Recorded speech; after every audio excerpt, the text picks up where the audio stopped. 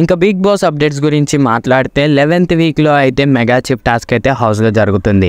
ఇంకా ఆ టాస్క్ పేరే మూట ముఖ్యం. ఇంకా ఈ టాస్క్లో ఏముంటుంది అంటే ఎవరైతే మెగా చిప్ కావాలనుకుంటున్నారో వాళ్ళ బుట్టలో అయితే ఎక్కువ మూటలు ఉండకూడదు.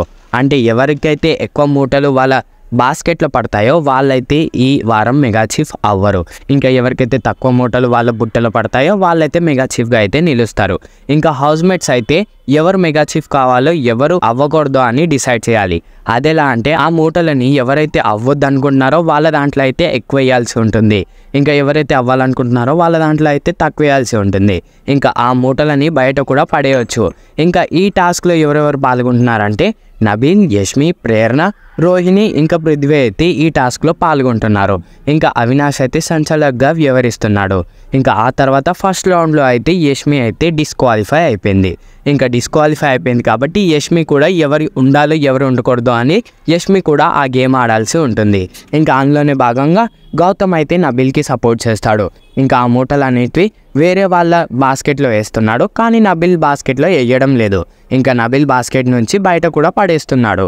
ఇంకా నిఖిల్ అయితే చాలా తెలివిగా ఆలోచించాడని చెప్పాలి. ఇంకా నిఖిల్ అయితే ప్రేరణకి ఇంకా పృథ్వీకి అయితే సపోర్ట్ చేస్తున్నాడు.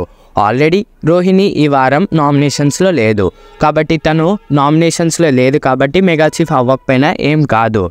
ఇంకా నబిల్ ఆల్రెడీ మెగా చీఫ్ అయ్యాడు కాబట్టి వేరే వాళ్ళకి ఛాన్స్ ఇద్దామంటూ పృథ్వీకి ప్రేరణకైతే ఛాన్స్ ఇద్దాం అనుకుంటాడు. ఇంకా వాళ్ళిద్దరిలో ఎవరో ఒకరు కావాలని తనైతే తపన పడతాడు. ఇంకా హౌస్మేట్స్కి ఆల్రెడీ చెప్పాడు నేనైతే వాళ్ళిద్దరిలో ఒకరిని చేస్తాను. ఎందుకంటే వాళ్ళిద్దరూ ఇప్పటివరకు కాలేదు ఇంకా వాళ్ళు నామినేషన్స్లో ఉన్నారు. కాబట్టి నా సపోర్ట్ మొత్తం వాళ్ళకే. మీరు ఫేవరిజం అనుకున్న ఏమనుకున్నా అది మీ ఇష్టం బట్ నేను మాత్రం ప్రేరణ ఇంకా పృథ్వీకే సపోర్ట్ చేస్తాను. ఎందుకంటే వాళ్ళు నామినేషన్స్లో లేరు ఇంకా ఒక్కసారి కూడా మెగా చీఫ్ అవ్వలేదు. కాబట్టి నాకు నా సపోర్ట్ వాళ్ళకే. మీరు ఏమనుకున్నా నాకు పర్లేదు అని నిఖిల్ అయితే తెలివిగా ఆలోచిస్తాడు. ఇంకా నిఖిల్ గురించి మీ అభిప్రాయాన్ని కమెంట్ చేసి తెలియజేయండి.